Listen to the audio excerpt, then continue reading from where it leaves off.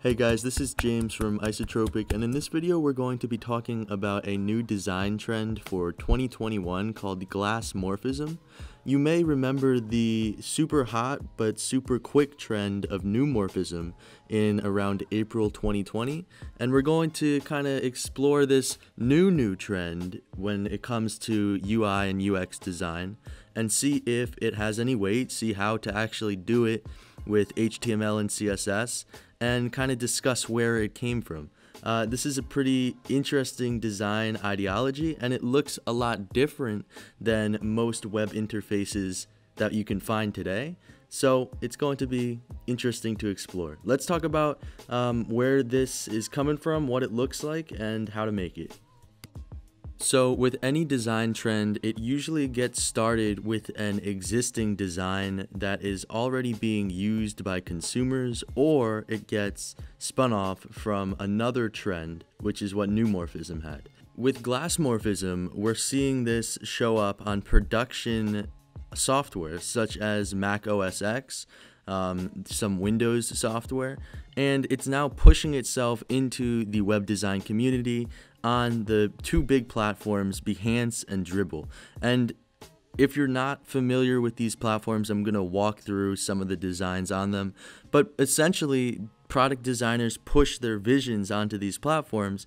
And if they become big enough, if all of these visions become big enough, um, they may be adopted into the production web design of the future. So that's what a lot of people were saying was going to happen with neumorphism. It obviously didn't. I'm actually pretty glad it didn't because I didn't like that trend that much. Um, but we're seeing a lot of glassmorphism now, or glass design, or frosted glass design in early 2021. So we're going to see if that's going to become a trend or a fad or something that's going to be adopted into um, more popular web design in years to come. So the glassmorphism trend got its start in primarily iOS design in starting in iOS 7 and then moving out into the Apple ecosystem, which now is primarily visible on the OS Big Sur. Um, we also see this on Windows designs, and the primary design characteristic behind this is the frosted glass look that is somewhat transparent, allows the viewer to see a little bit of what the background is, but blurs it so much that it looks like exactly what the trend's name is. There's a glass pane uh, that has frosting or has um, not 100% transparency, a glass pane in front of the background. And I mean, you're actually pretty familiar with this look if you're on Apple, if you're on Windows. Um, now we're just seeing it come to the greater web design community. If we scroll through uh, Behance and if we scroll through Dribbble, we'll see exactly what we saw with the neumorphism uh, just lines and lines and rows and rows of different designs using this trend. I think it's up to you to figure out if it looks good. I think it looks good. I don't know how the usability is going to work, how the accessibility is going to work, but I think it looks good. Um, is it going to be adopted by the greater web design community? That's for time to tell, but I think with most web design trends, we may see minor incorporations of this trend into uh, new websites, new corporate websites, new websites published by the big agencies out there. But I don't really think that we're going to be getting draggable uh, glass panels or anything like that. It's simply because that's not how websites work. Um, and glassmorphism isn't even as apparent as these designs make it out to be on the existing applications of it, primarily Big Sur. If you have OS X, if you have Big Sur installed, and you're looking at this uh, frosted pane kind of appearance, you'll notice that it's not incredibly apparent. It blends into the design, and I think that's how any good design should work. Okay, with all of that said, let's hop into a build using CodePen and just standard CSS and HTML, and I'm going to show you how to create the glassmorphic effect for your own website.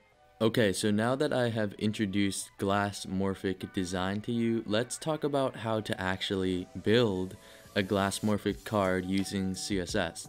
um, all you need to do is use CSS. And there are a couple caveats that I'm going to discuss at the end of this build, or the end of this build walkthrough, I should say. And they're pretty major, so you might want to stick around for that. So here you see your glassmorphic card, and this is what this is, and it follows the same principles that pretty much every glassmorphic design on Dribbble, uh, as well as the Mac OS X and the Windows Glass aspects follow, and that is you get background separation with a combination of three specific elements, and your background is always colorful um, with contrasting colors there. And first, let's talk about the background. I think that most backgrounds need to be kind of contrasty and have a bunch of different colors and a bunch of lines and a, bu a bunch of abrupt color changes there because you want there to be uh, this type of blur here where there are multiple colors. You have a you have a, a purple blending into a darker purple blending into a yellow. Uh, you got pink. You have all of these different colors and you want your blur effect to accurately show these different colors while allowing the content within the card to still be more visible, easier to read, uh, popping out, and just just a better experience. And that's what all UX trends are created for to make it easier and more vis- visually, aesthetically appealing to your visitors. So that's what this is. Um, so you have your colorful background, and then you have your three major elements to separate this card from your from your main scene, and that is your background, your border, and your shadow. So first up, we have our background and our backdrop filter uh, all working together to get the effect that we desire. And if I got rid of this, this is what the card would look like. Um, there's no there's no separation from the background, uh, and it's just it doesn't look like a slice of glass. These two work in tandem to get this effect going. First, the backdrop filter blurs the background, uh, and then the background itself just adds a little more white to that background, making it easier for you to throw text on top that's more readable. But the main feature here is the backdrop filter. And let me cut right now to the caveat, or one of the caveats, that you need to understand when using this effect. An issue here is the fact that the backdrop filter does not work with Firefox out of the box, and instead you need to enable a flag to get it to work. And if you're a developer, that's more than fine, uh, and you can figure that out. But if you're an end user, it's just going to look broken to you unless you have enabled that flag for something else.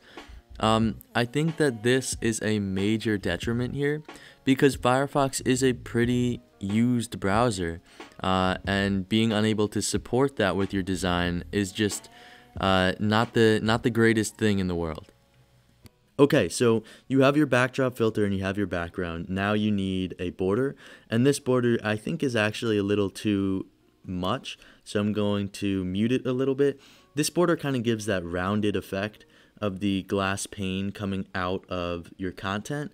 Uh, and this is just done by using a solid 1.5 pixel border, uh, which I think actually just rounds up to 2, I'm not sure, uh, with a somewhat transparent white um, color. Then we just have our basic border radius, and that matches typically your theme settings uh, of the website. And then you have your box shadow, and this is a standard box shadow, uh, 5 offset for both, 5 pixel offset for both vertical and horizontal, 30 pixel blur, and then a uh, simple 15 percenter for your color. Then we just set our width and height as need be, but that's basically how you create this effect using CSS. Um, nothing fancy here, but again, as I cut to the caveat in the middle, because I, I couldn't help myself, um, you need to consider the fact that this will not work on Firefox. And let me see if I can quickly uh, create this pen and show you it on Firefox. It looks a lot different on Firefox than on let's hop into Firefox. It looks a lot different on Firefox than on Chrome because Firefox doesn't natively support the backdrop filter, which is the the necessary filter that we need to get the effect to work.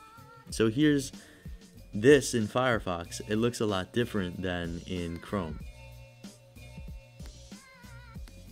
Here you can see that there's still an effect here and you can still maybe make it work, but without that background the, the background blur effect, it just it, it's a lot it's a much different effect. There's no frosting, there's no glass.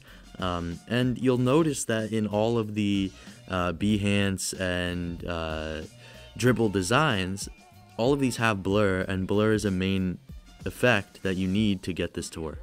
So, to wrap everything up, this design trend, glassmorphism, uh, is new, relatively new, but it's also been around. As opposed to other trends, uh, this is used in production software such as uh, Windows Vista. It goes all the way back to iOS 7, Windows Vista. Um, now it's very predominant in uh, Mac OS X Big Sur or OS Big Sur. And uh, this might actually remind you very much so of the OS Big Sur because it follows the same uh, design concepts here. It follows the same uh, blur, it follows the same um, transparencies. So it's used. Uh, the question to be seen is is it going to be used in uh, more web design applications? And in my opinion, I don't think it's going to take the world by storm, as Twitter is saying, and as it looks like it's taking Behance and Dribbble by storm, simply because I think you need movement for these cards to make a lot of sense and to work in a design. Um, and you'll see that on uh, specifically the Mac software, you can delete these windows, you can drag these windows over different areas of the background. You can do different things with the actual glass windows, which don't make sense in traditional web design. So I don't think we're going to see a complete glassmorphic website adoption anytime in the near future. I could be 100% wrong, but that's just my opinion. So if you want to make it really quick recap, you need three main things, a blurred background, a uh, transparent border, nice border radius, as well as a box shadow. And this gives you separation from your background. It gives you the appearance of a glass element uh, and it allows you to put text and images and other things into your glassmorphic content uh, and and making it work for the design. Hopefully, this was a nice little intro on glassmorphism. If it blows up, I was wrong. If it doesn't blow up, I was right. Uh, until the next video, I will not see you, and I will see you in the next video. This is James from Isotropic.